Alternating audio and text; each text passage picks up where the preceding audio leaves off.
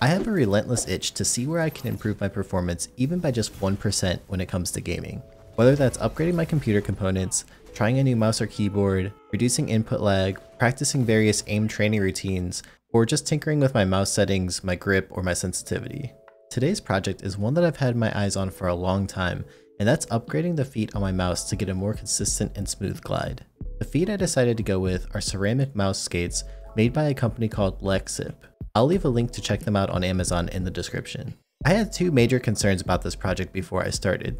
The first was that these feet are circular, but the stock feet on my mouse, the Pwnage Ultra Custom, are more of a triangular shape, and there's a little bed that they sit in that has some raised edges. I did some research beforehand and didn't really find a whole lot to go by. However, I decided to give it a shot and I'm happy to report that this didn't seem to cause any issues with my particular situation.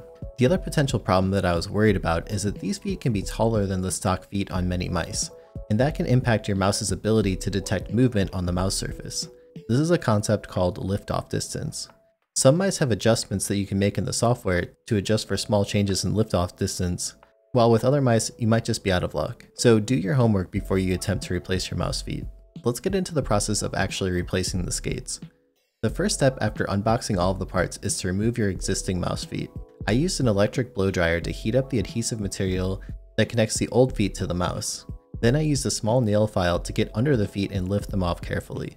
This part seems scarier than it really was. The trick was to get the pads just hot enough that they come off easily, but not damage the mouse with too much heat. I think I probably spent about 10 to 15 seconds per foot to heat them up. The next step is to take a pad with rubbing alcohol and thoroughly clean off any adhesive residue. Luckily for me, this was not a tough job because the old feet came off pretty easily. At first, I decided to leave the middle mouse foot that surrounds the mouse sensor as is, but eventually I decided to remove that one as well. Once the mouse is cleaned and prepped, you're ready to apply the new skates. Use alcohol again to clean the flat side of the ceramic feet so that the new adhesive will work properly. Ideally, you don't want any dirt or debris when you're installing these. The next step is to take the small 3M circular adhesive pads and apply them to the ceramic feet. I found this to be by far the most frustrating part of the whole job. The method I used was to first remove the circular adhesive pads from the paper and then apply that sticky side to the ceramic foot. Press firmly to make sure that there's a really strong connection. Also make sure you're applying these to the flat side of the ceramic feet. Then gently peel away the protective paper on the other side of the adhesive to reveal a thin, clear, sticky film. This part was pretty frustrating, but after working at it little by little, you'll get the hang of it.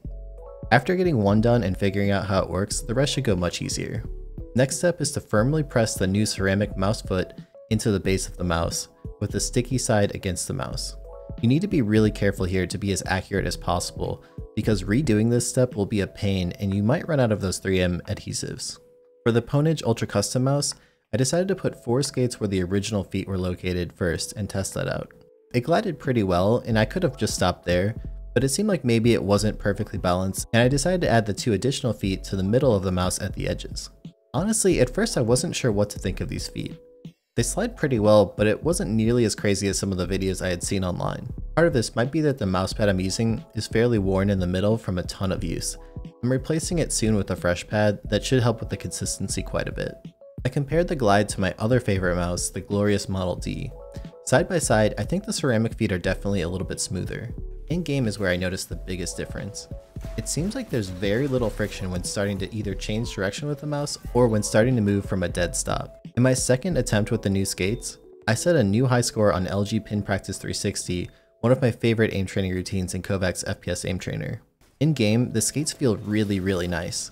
I can't quite explain how effortless it feels to move the mouse around with these ceramic feet.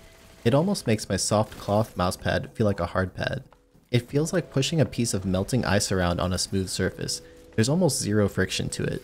I suppose time will tell if I still like these feet in a few weeks, and I'll try to come back and answer your questions over time. So far though, I'm really happy with the results of this experiment, and if you're the tinkering type, I'd recommend giving it a shot. Just make sure that you do some research online first to make sure that they work with your particular mouse. As I mentioned before, I'll have a link in the description to check these feet out on Amazon. And if you do decide to purchase through my link, it will help the channel out, which I appreciate. Let me know in the comments, what gear experiment would you like to see me try next? The one I have my eye on most is building a custom mechanical keyboard. That's all for now, catch you guys next time.